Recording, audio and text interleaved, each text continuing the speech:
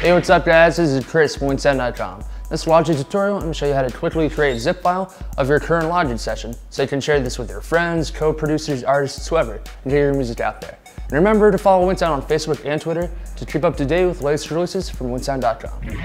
All that you need to do is you need to find it in your Finder. You can do this by going to the, the uh, magnifying glass at the top right corner of your screen. Now simply type in the name of the project. Once you have found the project, simply command click.